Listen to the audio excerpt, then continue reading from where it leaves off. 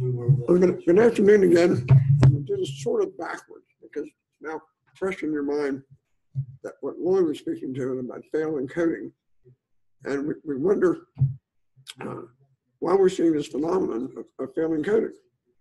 And part of the phenomenon, as explained to me in the federal court case, is that we have traditionally used coatings that were thinned or diluted with a, we used to call it solvent, we used to call it thinner.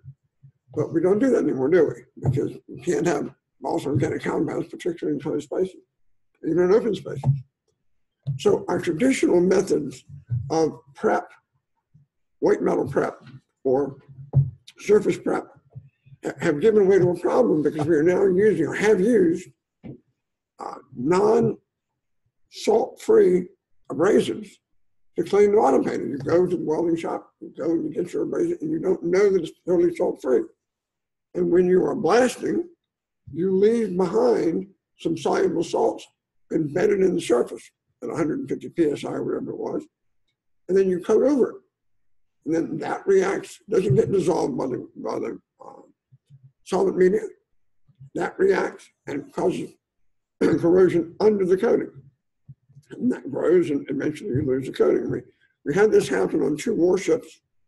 Um, happened to be in the same shipyard, same media, um, uh, same application, same mil spec coatings, same boat, same time in the water.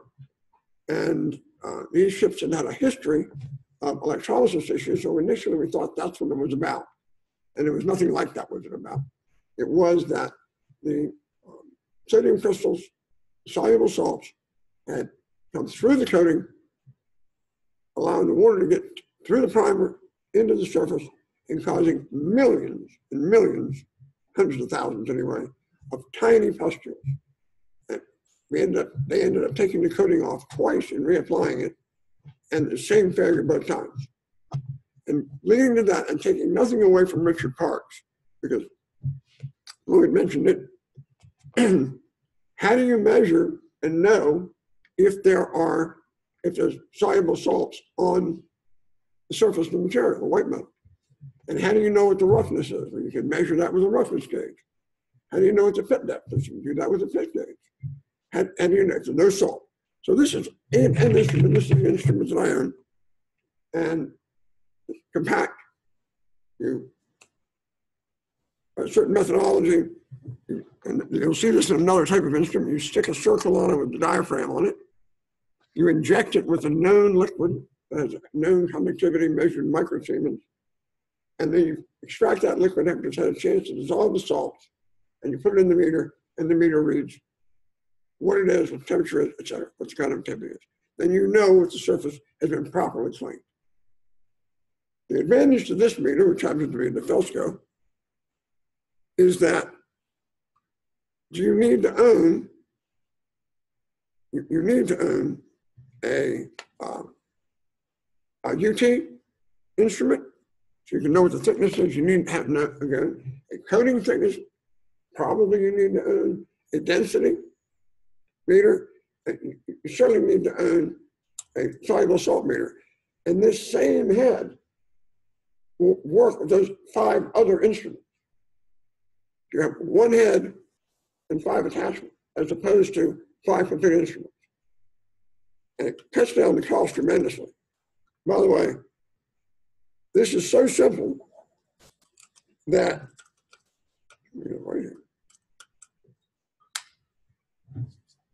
It doesn't even have instructions that you have to be able to read.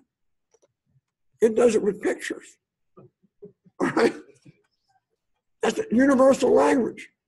If you can't figure this out, you're in real trouble. So it's, it's simple, to the point, and, and it does a lot of things, and it's a service that we now use anytime we're going to do go to a boat, see this been prep for coating.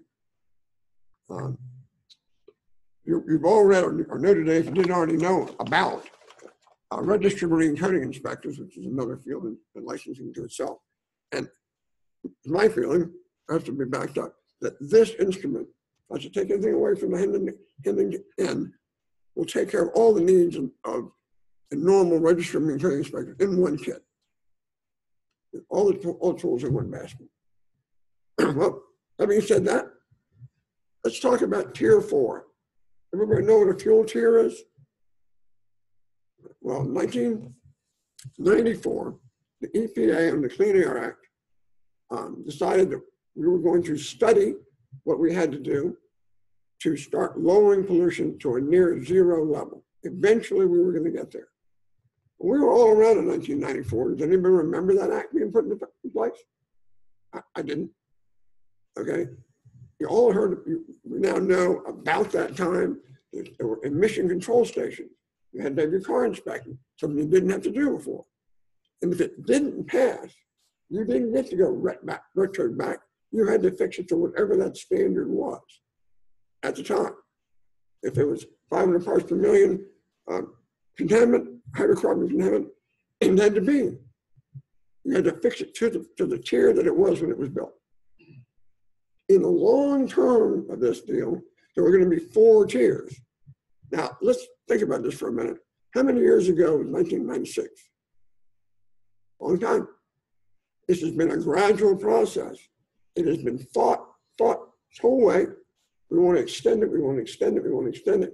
The manufacturers can't build anything that clean as fast. Um, some of us, when John was there, was there ooh, probably 2004, when representative from Honda said, we cannot make an engine that will survive at 15% ethanol. You were there. And that's what Honda said, we can't do it. Well, clearly they have done it. And is it powerful? No, but it's taken a long time to get there. So what we have here, we um, started with non-road engines, which is what we look at. But non-road is also cranes, bulldozers, um, material handling equipment, mine handling equipment, excavation, and boats. Non-road engines under 37 kW to 175 kW. They raise it again. We got to 506 kW, 60 kW, then we got to 900 kW. Pretty much all encompassing for what you're going to see in smaller recreational ve- vessels. Is this what number here? There we go. Right? There we go. Perfect. Thank you. Well, you know, it was never going to happen. We were never going to be faced with tier four. There was always going to be another extension. We didn't have to worry about being able to measure this, whatever the combustion gases were. It was never going to happen. It's happened.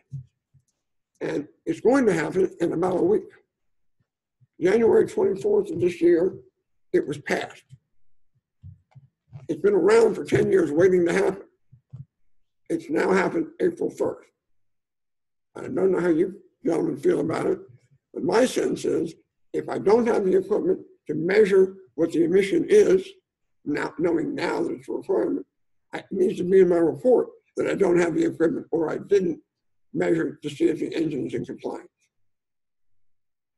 So part of this is we inspected a luxury yacht, fast luxury yacht with Queen Yanmar diesel, high-speed diesel, that on the EPA plate on the top of the engine said compliant to tier three, 2014.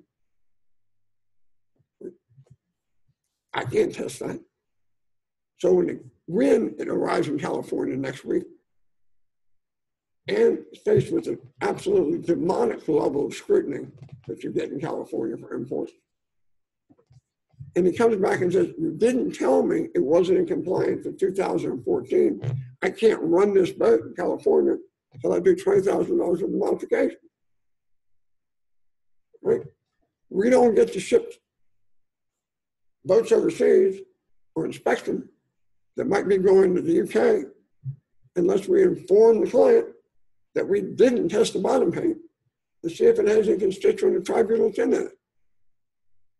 Because if it arrives in Europe and it's got tributyl tin in it, in Italy, I think it starts at $90,000 fine. It's, it's outrageous, but we don't tell people about it, and we certainly should.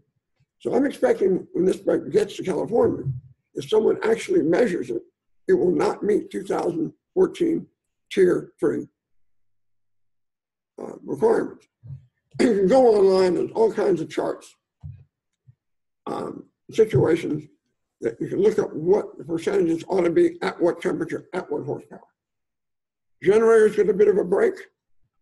Um, oop. what am I doing wrong here? There we go, got it. So April 1, things go into effect. And we are shooting for 90% reduction, basically, in all pollutants, but sulfur in particular, nitrous as well. The rules in California do not overarch the rules as established by the EPA for 2004, uh, 2018 Tier 4, but they add to them in different ways. So, and, and I'll put this in here not as a joke. California considers electricity a fuel. It is in electric cars and bikes, and you pull up to a charging station just like you pull up to a pump. So there are regulations on charging stations as if it was a gas pump because you're delivering a fuel. There are regulations for propane, LPG, LPG clearly, CNG, uh, diesel, JP4, on and on. There's a regulation, a different set of regulations for what it ought to be. But we need to know what that is because we're going to inspect vessels that need to be mandated. And the 2018 boat you're going to inspect this spring, if you can't test it, you can say that the, the plate said that it was verified the 2018 standard. But my feeling is I better mention it so that the customer at least is aware that we have a, a potential for a problem. And, and you know, somebody in California is going to catch on and say, have you had your boat inspected recently? And then people will buy it. Questions on it? You're telling me that you have to have a boat now inspected tier four? For emissions that to California, As of April 1st. California? Yeah. Not for anywhere else. Not, not, it, it, the- all, everything's sold after April, January 24th, and it's sold after January 24th. That claims to be tier four, it ha- has to be to tier four. In other words, someone sells an engine now, as of April, uh, January 24th, it must be tier four. According to the EPA rule. reason we have more Caterpillar recreational boat engines. They just, they got out of it. It's inadequate. You can't, you can't do They're it. selling product, but it's built by their subsidiary. Well, there we go. Yeah. Effective motors anyway, they're. Yeah. So, so it's anything made after, January 24th, marketed after January 24th. right, because if they, se- if it's built in, if the engine, because there's engines in the warehouse Sure, that are not. Right. But so anything manufactured after the April first date must meet tier no, anything sold after January 24th. So you're not allowed to sell out of compliant old stock. You can modify with a number of, So anything in stock has to be meeting tier four. That is sold. The, the engine doesn't, let me clarify that a bit. The propulsion doesn't have to be the tier four. The emission has to be the tier four. So you can add a, a catalytic converter after the engine. I mean, every gasoline engine built, I think every gasoline engine has a catalytic converter on it. The engine itself is not pure. You can reburn it, but the catalytic converter takes care of it. Same thing as your car. And you can scrub it. So you can have a diesel engine that was tier, tier one, as long as it's coming out the pipe, it met tier four. Is that, is that clear? So it's something to know. No one can measure right now. I'm sorry? No one can measure that right now. Oh, certainly there is. There, you, you can, you can go to, um, uh, Enzo K, Enzo X, and, and buy combustion gas measurement equipment and do it. I mean, the engine on a, on a common rail, electronically controlled, has a exhaust sensor and, pr- and places the parameter. That's how it can, how it can regulate the fuel quality, quantity. Just like your automobiles, you got a knock sensor. So there's nothing strange about that. It's- It's in a dry section of the exhaust clearly. Before. So you need to, the, the engine needs to know what its, uh, um, exhaust gas temperature is, HET, uh, HET. It needs to know what the flow rate is, what the contaminant rate is, what's, the- what's the, uh, um, uh, back pressure is. It needs to know that thing in order to work properly. But that's the date, January twenty-fourth. It became law, April first it becomes implemented next week. Is that for all fuels, diesel and Th- There, there's, all, all fuels have different sets of regulations, though, but they're, yes. I mean, the, the, the tier four regulation for natural gas is easily met. And, and we can be certain, I, I can be certain, that part of the reason we now have LNG powered shipping is so that they can meet, meet the control, meet the control standard. You have almost no particular contaminant in the leftover parts of the engine. They only run an LNG, it's what, ten miles off the beach to the shore, is that right? Ten miles? And then they're running the heavy bunker. Uh, the- So the volume of, of LNG is only just, it's a very limited amount of of area that they're running. I think it was Marine Trade or Maritime News that had a fully LNG powered ship, Yeah, it was built over Samsung built it, something something like that. So that's what I know about tier four. And, and John, John was, been, been starting the marina business forever and ever and ever as, as well. You know, when they told us they were gonna come into our shops and look at our logs for how we dispose of our MEK and our paint, where did this can of paint go? Where's your schedule when you got rid of it? I said, nobody's ever gonna do that. But they sure showed up in Annapolis and did it and they cleaned them out. You are now, you know, we went to West Marine or wherever it was, Seven Seas.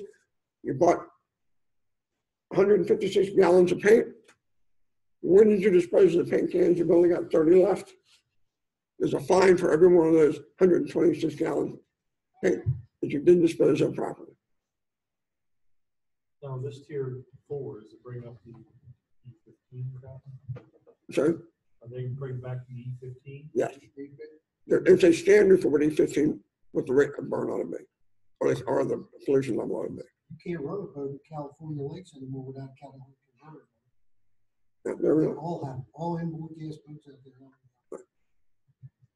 And unfortunately, this luxury like not the 2014, there's, to my mind, you have to do a major upfit because there's no room between the, the engine and the transom to fit a catalytic converter. Right, there's none, some of these engines don't only have room, they want that Yeah. the risers. Inboards would be, yeah, it's done already. So we're, we're going to have the electric boat people here in just a moment. So we might mill about and um, if you have any questions on tier four that I can answer or this type of instrument, um, So Randy, so that issue with you guys, that one you were telling me about the other day, it's like twenty-two hundred dollars. Where you can do surface scale and looking for, when, when when this one's rigged, this particular instrument's rigged, I did have a, um, I do, do have, I'm turning a coatings meter that, that goes to two and a half, two and a half inches of coating is what it'll shoot, now dual path. And to my mind, I'm never gonna do another dry dock. Right, I'm not gonna do another barge surface, so that's heavy coating on it. So I don't need that. What I need that, what I need is another um, UT, I need a pit meter, I need a roughness scale, I do need that. And so this instrument will be about twenty-two hundred dollars with five functions. that's makes doing UT also? I'm sorry, That unit's with, doing, with, with another attachment, yes. And you can slip it on your belt and it makes noise, what will it repaint, repaint? every two. What brand is? it? This is a DeFelsko. What we're gonna see tomorrow is, is, uh, for this purpose of soluble salt, to my mind, the, um, and K is a better instrument and certainly faster than this one for measuring soluble salt, but that's what it does. It it's, more task specific than this, which is more attachments for your drill bit. So, just different strokes for different targets. John just bought a new UT meter, right? I did. What'd you buy, John? Six. Six plus. I should Draw a blank, it's one them we'll read through rough code. Mine are easy, but it's tough reading. This is too thick, too rough. Yeah, Yeah, we- let's take a bit of a break. Surface area. That's why I got the different heads now. Cup of coffee and we'll wait for the boat guys to come. Thank you.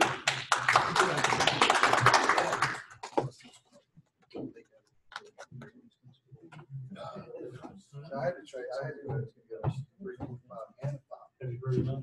Because I was reading in metal all day. Should I call it Rod Saunders? I said, I can't read this little tiny thing metal. Trying to point it together. To Feldstone? You want- Yeah, I'm so far away from that right now. What's that one? What what is this? This is a, I wanna see this damn thing, man. You telling me that I can read rough code to that? I'm, that's what they're telling me. oh, And have a variety of heads. yeah, yeah, you gotta have the panels. What's that got? Damn, what's that? Humidity in there now? This, this is, um, soluble salt. That's, that right there is reading soluble, salt- air soluble salt? Now, you you take an instrument like this or Right. a little diaphragm deal and it gets, we're gonna melt here, but if we did, it's gonna, then the amount of vapor goes in here. We've got these diaphragms deals that go in the center of that. Right. So you take your test fluid, right? You ri- turn the meter on. You take your hypodermic Right. needle, you blast a known value liquid in here in that region. That's your first, first. That's your baseline cut. type Then you inject this against the surface, agitate it, it dissolves whatever salt is there. You then extract it, put that in the meter, and it reads the difference. Real simple. This deposit takes six thousand, right?